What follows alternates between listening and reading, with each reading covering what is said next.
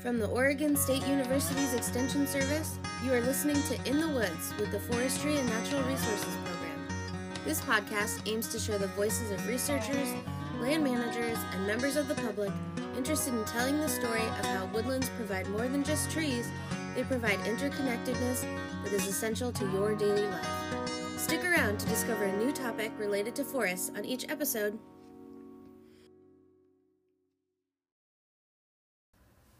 Welcome back to another episode of In the Woods. I'm your host, Lauren Grand, Assistant Professor of Practice and Extension Agent in Oregon State University's College of Forestry. Today's topic is What's in a Woodland? I'm really excited to have joining me today Daniel Stark, Assistant Professor of Practice and Extension Agent serving Clatsop, Tillamook, and Lincoln counties. Dan has a Master's of Science with a focus in wildland fire and forest health from UC Berkeley. Previous to his work at OSU, Dan spent six years working as an outreach coordinator for the California Oak Mortality Task Force and University of California Cooperative Extension Service. Welcome, Dan. Thanks, Lauren. Dan, I'm so excited to have you on the podcast as one of our first guests, mostly because I'm lucky enough to know you as a good friend outside of work. I know. It's so great that we are coworkers and we're also friends. Yeah. I really love that. Because I have the pleasure of knowing you as a really good friend, I also happen to know that you have a special interest in conflict resolution around contentious forestry related issues. So, of course, I'm going to start with a contentious forestry related issue, just to catch you off guard. What's the deal with all the terms for forests? How come some people call it a woodland, some people call it a forest, and some people call it a timberland? What's the difference? I mean, which term do we use to describe our forests here? um, so we could choose forest, we could choose woodland, timberland. You know, are there difference between those? They all mean the same thing. They all mean forest. Um, so I, I was preparing for this. I was looking up what woodland meant and I studied the etymology of it. And it's actually a term that's Old English, um, wooduland, I think is how you pronounce it back to the 14th century. Um, so it's just kind of cool how we have these forestry terms that have just stuck around with us for literally centuries and they're still used today. Yeah, you got it, Dan. It's not really a contentious forestry related issue. I was just yanking your chain there. I just wanted all of our listeners to know that throughout the podcast, we're probably going to refer to forests as woodlands or timberlands or interchange them here and there. And we want everyone to know that we're talking about the same thing. We're talking about forests. And today we're going to be talking about what's in a woodland. And Dan's going to help guide us through that. When we talk about woodlands and forests, the first thing that usually comes to people's minds is trees. Dan, what can you tell me about the trees that we find in woodlands? Yeah, so I mean, they are trees in a woodland, right? So they are the obvious structure. It's what we see, right? And um, forests and woodlands are actually defined by you know the presence of trees. So I mean, it makes sense that we think a lot about trees. Um, trees vary by location and by site. So depending on the like um, particular um, ecology of, of, a particular site, um, you're going to get a particular um, tree that grows there. they could be a single species. They can be mixed species. Um, going back to ecology, um, I also think about you know how disturbance really plays a role in um, you know, um, and what kind of tree grows on a site. So if you are in an area of Oregon, let's say that you know gets a or is prone to a lot of wildfire, it's really dry and stuff. You're going to get a particular type of tree that grows there that can do well in that type of environment, like a ponderosa pine, for example.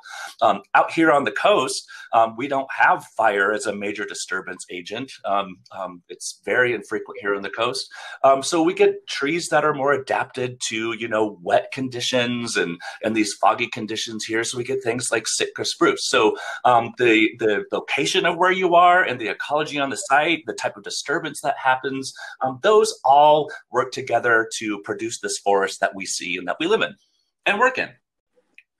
That's awesome. Um, so you mentioned that you have Sitka spruce there on the north coast. What else, what other type of tree species are pretty common over there? Yeah, well, we have um, oh, there's such pretty trees up here. So we have um, Sitka spruce, and um, I have a lot right outside of my window here, working from home, and I just love them. And they have this great lichen hanging from them right here on the close coast, and lots of fresh air here. So we get lots of lichen hanging from these trees. Uh, we have Sitka spruce. Um, we have a lot of um, a lot of the hardwoods that you might see throughout in other places in Oregon too, like big leaf maple. Um, we have red alder. Um, and we also um, have some Douglas fir around. So um, um, a lot of great, beautiful hardwoods, and we have some conifers there too. We also have western hemlock, um, just some really beautiful trees that just thrive and do really well up here on the north coast. I'm based in Eugene, and we have a similar similar set of a set of trees. Um, maybe we have a little bit more cedars, types of cedars, so western red cedar, as uh-huh. well as grand fir, which I personally like, you know, because of my name. Yeah. It, it is your fir. my fur, right? Yeah.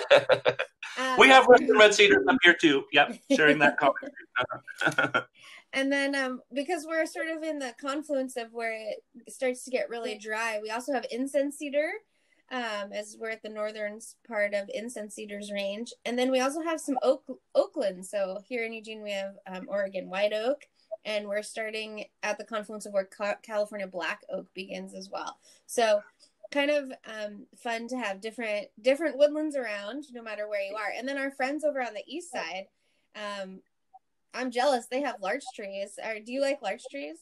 I do. And uh, being a california boy originally i don't have a lot of ex, you know exposure to larch. So when i see them i'm always like oh my gosh it's a larch! How cool i know it's really exciting something interesting about oregon is that um, actually, on the coast, uh, somebody planted a stand of larch trees in the shape of a smiley face. Oh, nice. And you can only see it in the fall when the trees start to turn yellow to lose their leaves. And there's a yellow smiley face in the side of the hill. Um, wow. So I don't know exactly where it is. It's um, mid coast, I think, but um, uh, you all should look it up and drive by one day. See oh, I will. That sounds really cool.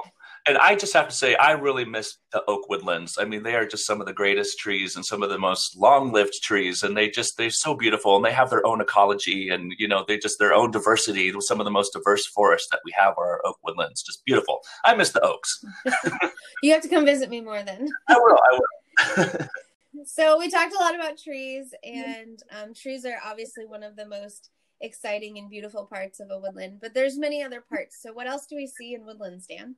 Well, my background is in forest health, so one thing that always stands out for me are the what we call pests. I mean, they are ecological components of a forest, like an, uh, a bark beetle or, or, other forest insects, and um, um, crucial to the functions of the forest. But they become pests, right? So they they cause some kind of economic injury. So I pay attention to things like bark beetles and and forest pathogens and um, pathogenic fungi, and you know that can cause some kind of forest health issues to your, your forest. So there are also beneficial beneficial insects and um, um, and, and, and, beneficial uh, fungi as well. So I think of mycorrhizal fungi, for example. So um, not all path- uh, not all fungi and not all insects in forests are bad. They're important components of a woodland.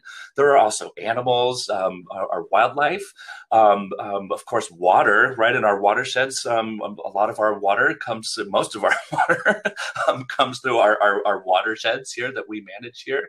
there are soils, right? You can't have a forest without soil you can't grow plants without soil or your substrate. Um, there are, of course, can't leave out humans. Um, we often like to think of humans as separate and um, apart from from our woodlands and our nature, but we are very much um, a part of the, our, our woodlands and have been for forever.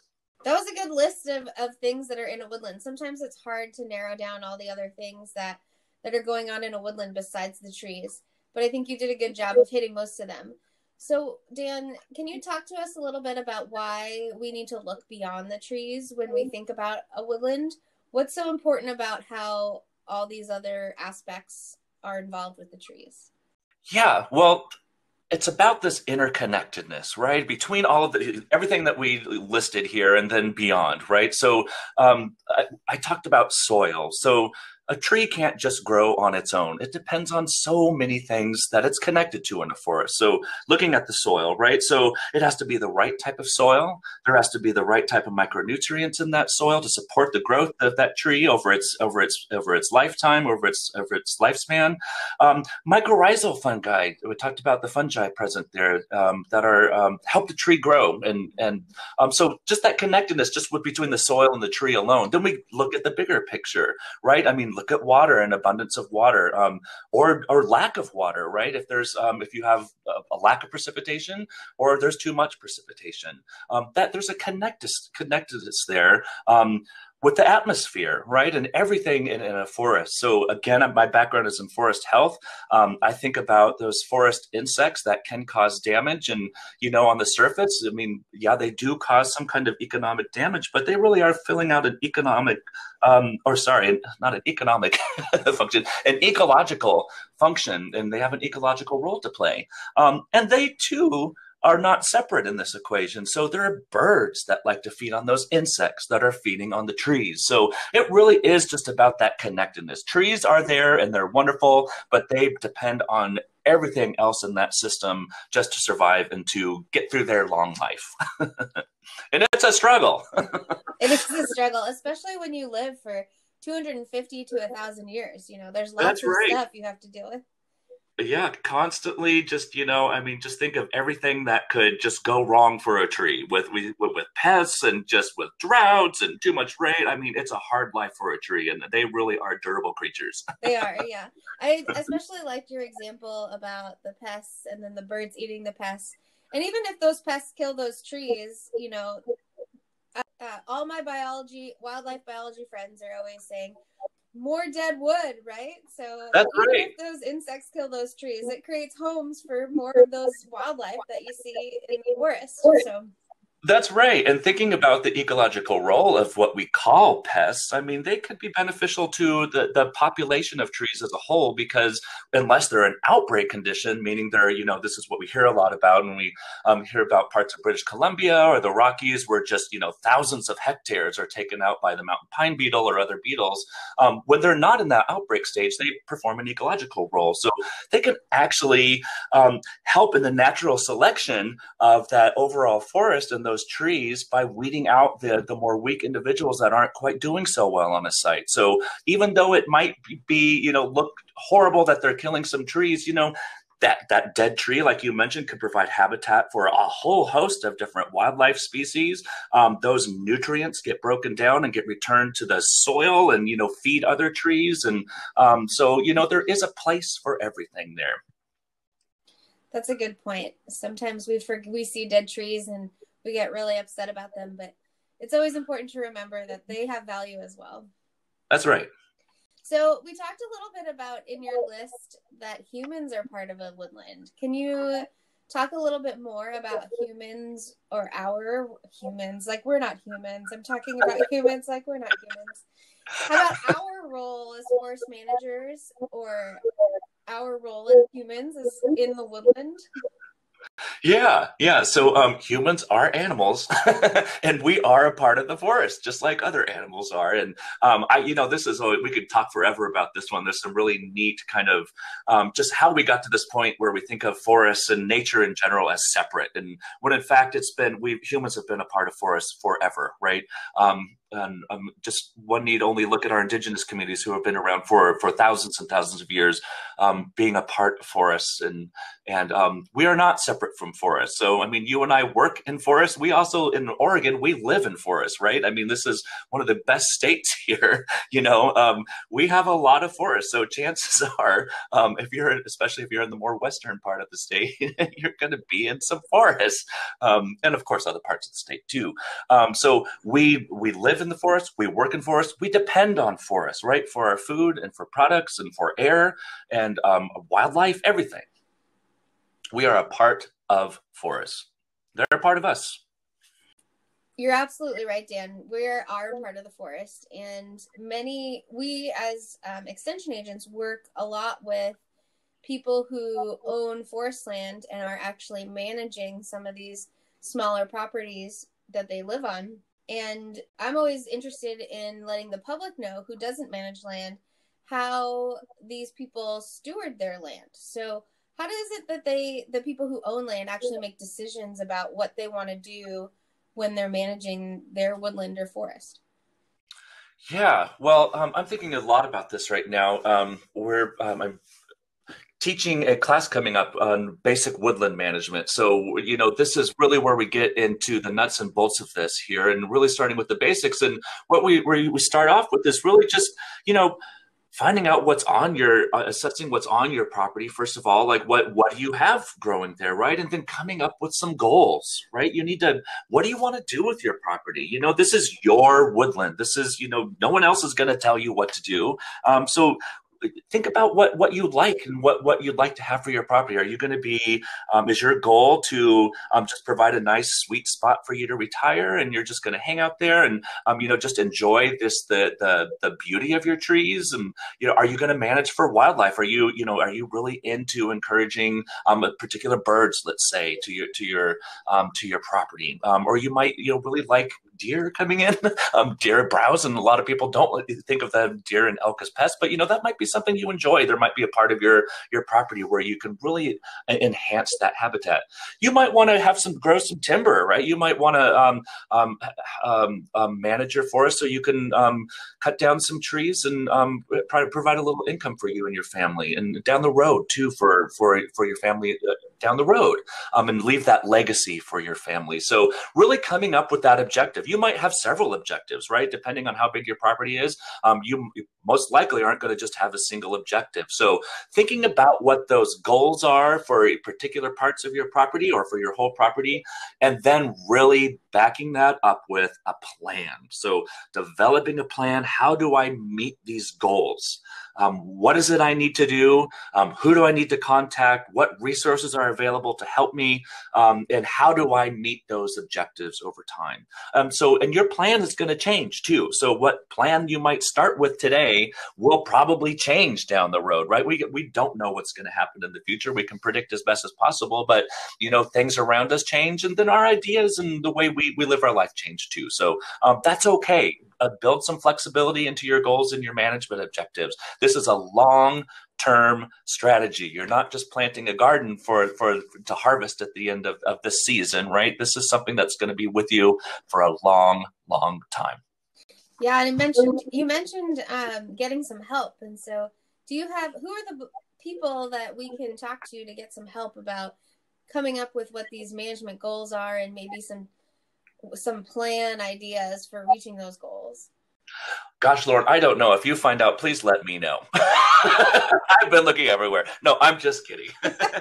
Oregon State um, Forestry Natural Resource Extension is your one stop shop for a lot of those resources. So check out what we have online and um, give us a call too. Call up your call up your um, your county extension forester, um, and they're here to, here to help. So I mean, we work hard to um, provide content and education for folks. So, um, apart from um, your extension office, I mean, reach out to um, your local ODF office. We have stewardship foresters that are here to help woodland owners and to, um, you know, help them with their management plans. Um, I know a lot of small woodland owners who hire consulting foresters. So, um, this works really well for people who, you know, these are this is the job of a forester, right? You might know that not know the first thing about like what what you what you need to do in your forest, and the, this is the role role of a of a of, of a, a, consulting forester is to help you understand um, what's on your property and how to manage it for you, and, and to help you find the best solutions for you. Um, oh my gosh, there are just so many resources in Oregon. Like I mentioned, I'm from California, and we have a, had a lot of resources down there too available for small woodland owners. But my goodness, up here there's just so much. And as you know, someone new to Oregon, I've been using a lot of these resources myself just to brush up on what's happening here. So one of my go-tos is the um, Oregon Forest Resource Institute, um, and they just have all kinds of educational content for people and to help them understand forest management practices, to help understand wildlife and, and regulations, and um, it really is a good spot just to um, kind of clear up. And, you know, if you're if you're not sure about something, you'll get the answers on that site. So there's just so much information available for people here in Oregon, and it's it, it really is um, an exhaustive list. I feel um, so. Reach out, and and your your extension forester can help you navigate through all of those resources too. If you're having problems finding where to where to look for the right things. Yeah, good uh, good plug for us. Thanks, Dan. it's, true. it's true. And we can help connect you to, there's many more people on that list. And so we're happy to help Absolutely. connect you to all those people. You mentioned earlier that people have goals and objectives, and then you come up with a plan. And so I'm just curious, you know, the landowners that are coming up with this plan, or the consulting foresters that they hire, or the extension agents that give them suggestions on things that they might be able to do to reach those goals you know how do those people know what is available or what what management activities are available for people to be able to steward their land effectively to reach the goals that they're interested in reaching? I have two words forest science there is a lot of research out there um, available to help us make decisions about um, the management practices that that we choose, um, dependent on our, our our chosen goals, right, and our objectives for our property. So a lot of those, a lot of that research is around um, this applied um, ecological techniques, right? So uh, uh, let's put that into plainer words. So um, we could mimic the natural processes that happen in a forest and and and base our management practices on some of those um, natural processes. For example, let's say um, think about root disease. So um, root disease, um, it's you know it's caused by fungi- uh, fungus, and um, it can spread from root to root, and you get these these disease centers. So some of you might might have heard of of, um, of you know like a um, something like armillaria or, or heterobasidion annosum, annosus root rot, or some other kind of of root pathogen that causes this mortality center in your forest. Um, so you get what ends up happening is you have a patch there. So that patch gets reseeded often with with uh, either by natural regeneration or you can plant in those gaps there to recreate or you know to have a different uh, a new forest in that opening there. So there was an opening created by that that seeds and and there's that's a spot for new seedlings to grow. So you can create that and mimic that processes too on your own property. Let's you know we talked about managing for wildlife. You know there might be um, a, a part of your property where you want to have a particular type of trees growing that will you know encourage a particular type of, of bird species for example. So that group process you can plant in those groups and kind of mimic those natural processes so there are lots of examples of this in, in science and, and through research. Um, and fire, one of these natural processes is fire. So think about how fire can impact your landscape and your forests. So um, I think about um, in more of our drier type forests where we have um, um historically more low intense fires, um, meaning that you know they, they um, they they're not going to be killing a lot of trees. They typically stay close to the ground and and serve as this function, and that they happen more frequently historically too. So that comes in, and so that will naturally thin out what we call those ladder fuels. So trees and, and other shrubs that that form a ladder up into the canopy of other trees. So fire can those low intensity fires in particular we can also you know use prescribed fire to recreate that as a management process um, as a management technique to recreate that structure that fire has by thinning out those those ladder fuels. So fire isn't a prescribed burning isn't always an option in a lot of places due to air quality concerns and um, a lot of uh, regulations or you know it, it's hard we don't have big windows for prescribed burning either. So um, we can have management techniques that mimic what those low intensity fires can do by a thinning from below, for example, um, um, coming in and, and, and, cutting down those those ladder fuels, and um, those can be those fuels can be um, removed from the forest. They don't have any kind of value timber wise or anything like that, but they could be um, either put in a slash pile or they could be you know sent off and be used as biomass. So um, these what it all is to say is that we have a science that shows us that we can manage forests and that's based on this applied ecological techniques that that um, uh, that we've been studying. Forest science is is really great to have to be able to help guide people through what decisions that they make when they're managing forests. And it's always changing and evolving which is also fun and exciting and we're learning new techniques all the time thank you for sharing some of those really good examples.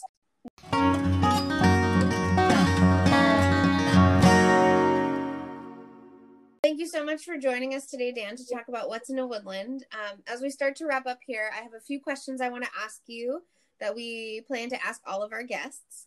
The first one is What's your favorite tree? Okay, my favorite tree. It's hard to choose just one, but I would have to say it's Ponderosa Pine and Jeffrey Pine.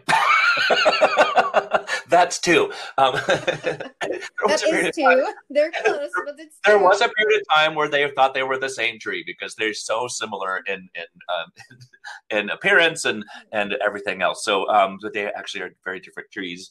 Um, I love ponderosa pine and Jeffrey pine for different reasons. So, um, I mean, both are just really suited for adapting uh, to dry climate, and um, I just think that they grow beautifully and just that that typical conifer shape and I love pines in general. I just love the scent. And what I really like about Ponderosa and Jeffrey and, and Ponderosa in particular is just that big puzzle like piece bark that they can get when they get super old and just those really deep ridged furrows in the bark and they're just like this big platelets of but they're just so fantastic and of course that's a fire adaptation um, and it's just fantastic their needles are adapted to fire they grow long they're skinny so they fall on the ground and they could create little piles or they do create little piles of of um, uh, needles on the ground, and those help ignite fires, right? And so that that's all an adapt- adaptation to a frequent fire regime. They're just super cool. Um, Jeffrey pines are just as cool as as ponderosa. Um, they tend to dry, grow on more drier sites, um, and they sometimes can smell like butterscotch and i just i love that smell and it's just they're just such beautiful trees and they, they just are survivors and I, I just love them for that reason yeah they're gorgeous have you ever um tried to put the puzzle pieces back on the bark of the ponderosa pine? I, I have not. I'm, I'm usually chopping them off with my axe to look for insects. I'm not putting them back on. Oh, you yourself, guys. Always have your axe with you. yeah, well, I've I've spent many a lunchtime um, underneath a ponderosa pine eating a sandwich and trying to sometimes repuzzle the trees back together. Uh, the time go by when you're out in the Oh, yeah, that sounds delightful. so our second question is, what's the most interesting thing that you bring with you in the field, whether it be in your cruiser vest or your field kit? All right. Well, I just gave one of them away. I like to bring an axe with me and have a big blue handled axe that I got from um, one of my forest ecology professors back in college. And you had him too, Lauren. Joe, Professor Joe McBride, mm-hmm. emeritus professor now, passed on his axe to me. And I, I carry that with me with pride. And um, it, I use that to chop into trees when they're dead and just to, to look for um, forest health issues and pest issues. Um, so, but I mean, that's not too weird. I think one of the things that um, I just really treasure it to this day. And um, I'm going to send you a picture of it. Maybe one day you'll be in the field with me.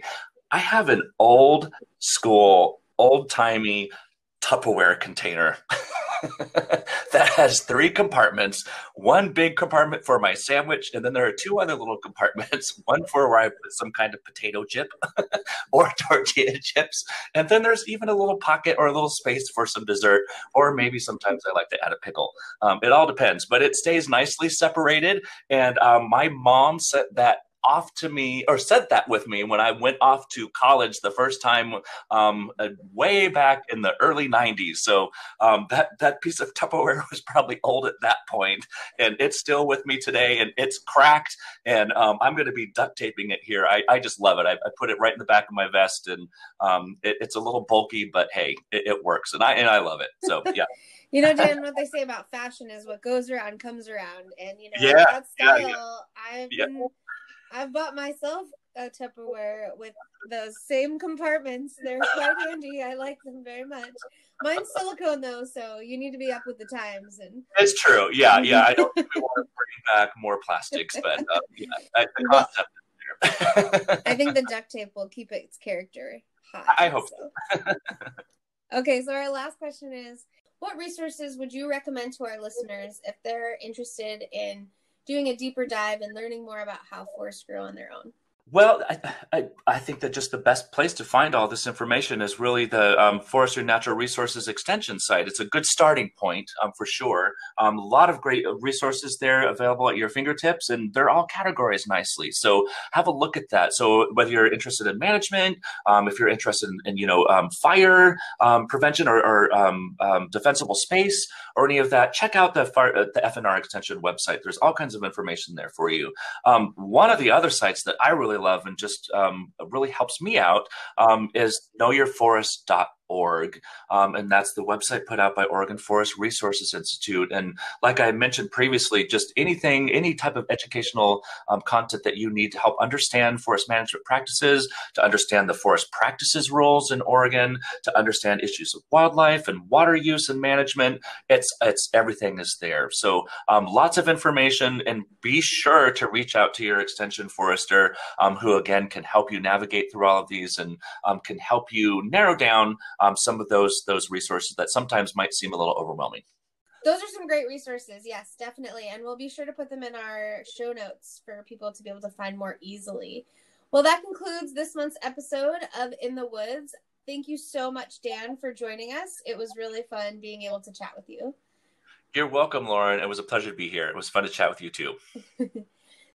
Thank you all for listening today and stay tuned for next month's episode with Dr. John Bailey from Oregon State University's College of Forestry on how forests grow.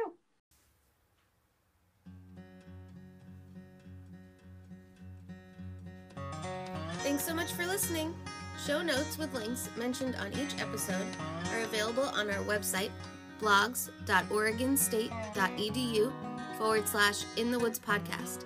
We'd love to hear from you Visit the Tell Us What You Think tab on our website to leave us a comment, suggest a guest or topic, or ask a question that can be featured in a future episode. And also give us your feedback by filling out our survey. In the Woods is produced by Lauren Grand, Carrie Berger, Jacob Putney, Stephen Fitzgerald, and Jason O'Brien, who are all members of the Oregon State University Forestry and Natural Resources Extension team. This podcast is made possible by funding from the Oregon Forest Resources Institute. Music for In the Woods podcast was composed by Jeff Heino, and graphic design was created by Christina Freihoff. We hope you enjoyed the episode, and we can't wait to talk to you next month. Until then, what's in your woods?